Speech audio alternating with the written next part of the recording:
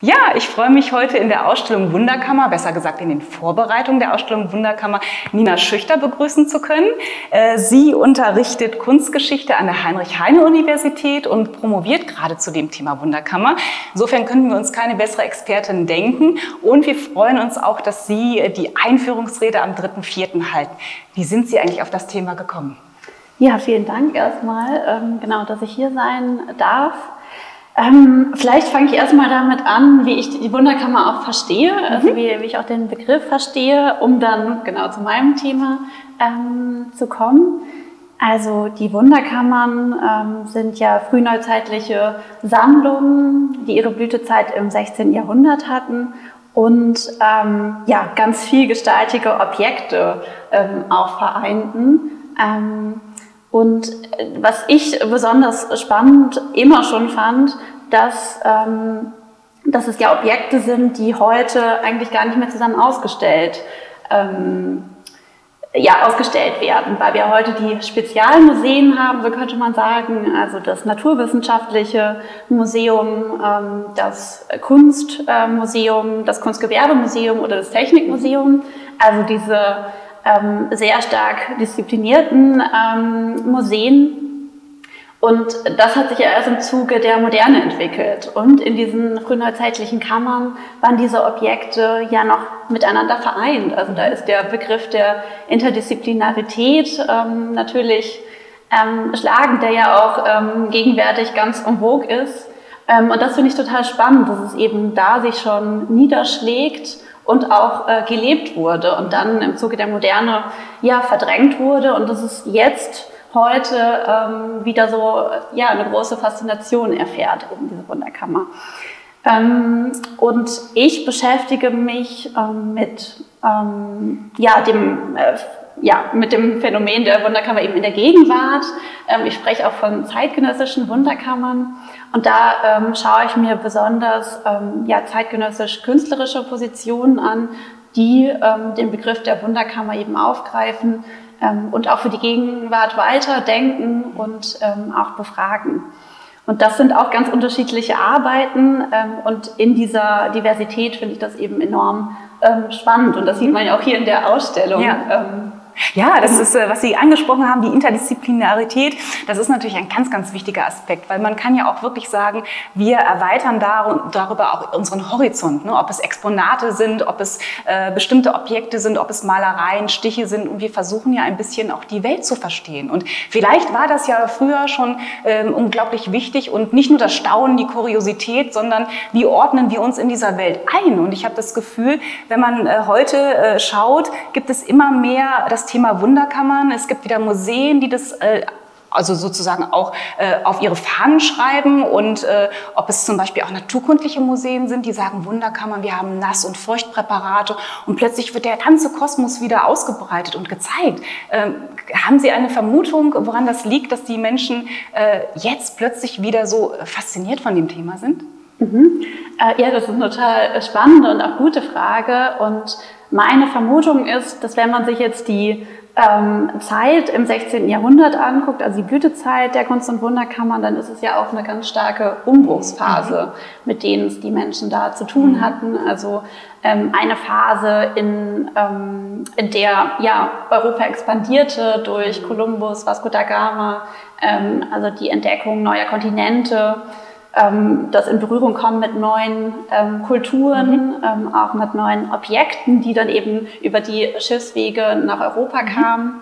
Ähm, aber auch neue wissenschaftliche Erkenntnisse. Mhm. Also eine sehr aufrüttelnde Zeit. Und wenn man sich dann unsere Gegenwart anschaut, mhm. dann ist es natürlich, ähm, ja, liegt es eigentlich auf der Hand, ähm, diese Parallele auch zu mhm. ziehen. Also ähm, eine sehr ja, komplexe und ähm, überfordernde Gegenwart, mit der es wir heute zu tun haben. Also um nur einige Stichworte zu nennen, ähm, ja, natürlich die Klimakrise, das massive Artensterben, das zu beobachten ist, künstliche äh, Intelligenz mhm. und ähm, eben die ja, komplette Umstrukturierung unserer Arbeitswelt eben durch mhm. diese ähm, technischen Neuerungen und dann ähm, ja, aber auch Pandemien. Also, und da wird ja Corona nur mhm. eine von vielen sein. Also eine sehr komplexe, ähm, überfordernde Gegenwart. Ähm, und meine These ist, dass die Wunderkammer ähm, als einzige ja, Sammlungs- und ähm, Erfahrungsform diese Gegenwart ähm, uns auch ja, erfahrbar ähm, macht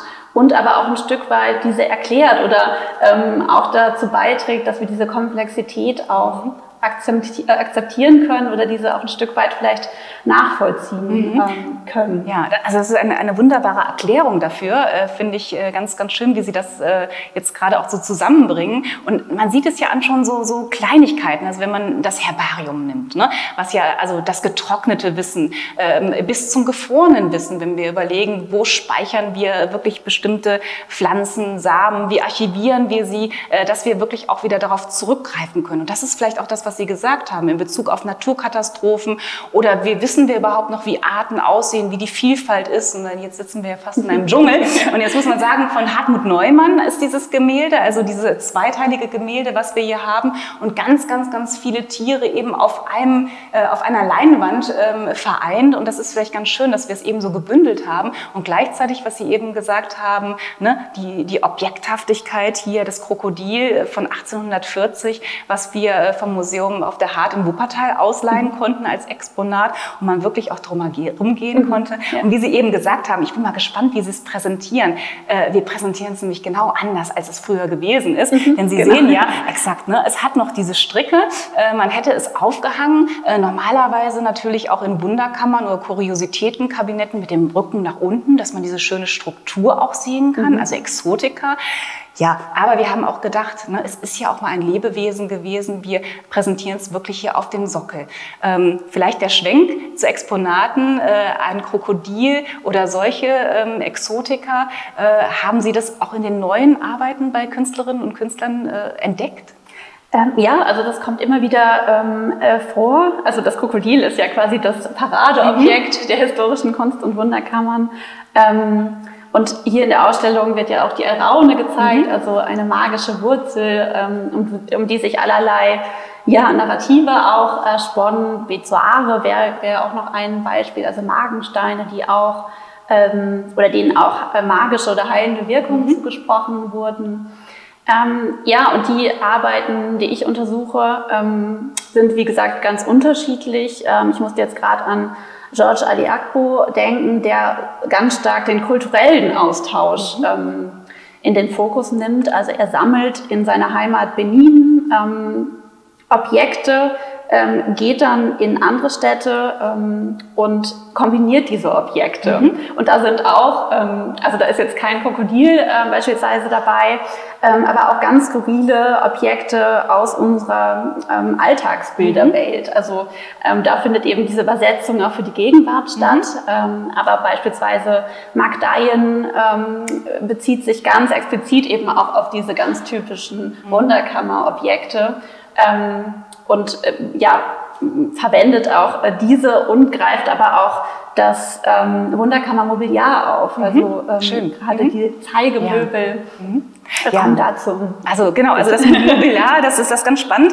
Äh, zum Beispiel macht es ja Jenny Michel auch. Wir werden ja. ja ein paar Arbeiten von ihr zeigen, also in Anlehnung an das Herbarium, das Pulvarium. Und dann sind es eben auch diese alten Setzkäste und diese Materialität. Also es ist ganz spannend, was uns dann hier noch erwarten wird und was wir auch noch aufbauen. Also die Arbeiten kommen dann, die sind noch restauriert worden mhm. und kommen dann hier zu uns. Ähm, dann habe ich es kurz angekündigt ja schon von Kennedy plus Sporn, äh, eben auch ein Hologramm, äh, wo es um einen Versuch Versuchswesen geht, mhm. um einen, einen ganz besonderen Hasen. Wir verraten mal nicht zu viel. Äh, dann natürlich der Totentanz. Wir haben kurz auch schon drüber gesprochen. Wir werden einen hier live gesprüht bekommen von Thomas Baumgärtel. Inwieweit äh, kommt diese Thematik immer wieder drin vor? Weil Sie haben es ja eben schon angesprochen, das Existenzielle, äh, wie orientieren wir uns in unserer Welt und die Vergänglichkeit. Ähm, ja, welchen Stellenwert hat sie in den Werken vielleicht? Ähm, ja, ich glaube, einen ganz, ähm, äh, ganz essentiellen. Also ich glaube, da müsste man sich die unterschiedlichen ähm, Arbeiten jetzt nochmal anschauen, aber es geht natürlich immer um ein Wahrnehmen von Welt. Mhm. Und da gehört natürlich auch die Vergänglichkeit ja. mit dazu und das Zurückgeworfensein auf den eigenen Körper, ähm, auf die eigene Existenz mhm. und auf das eigene Sein. Also das sind, glaube ich, grundlegende Fragen, die ähm, in allen Arbeiten, die ich auch untersuche, ähm, und die auch hier zu sehen sind, eben mhm. eine Rolle spielen. Und das ist eben das Schöne, dass es eben um den Mikrokosmos geht, aber immer auch um den Makrokosmos und eben diesen Verweischarakter. Ja, also wunderbar. Wir, wir freuen uns schon einfach, Ihr Buch zu lesen. Ich bin mal gespannt, wann das rauskommt. Vielen Dank, dass Sie hergekommen sind und äh, natürlich der dritte, vierte nochmal ein wichtiger Stichtag, wo wir alle zusammenkommen und dann die Ausstellung eröffnen. Also vielen Dank nochmal. Freue mich. Ich mich auch. Danke.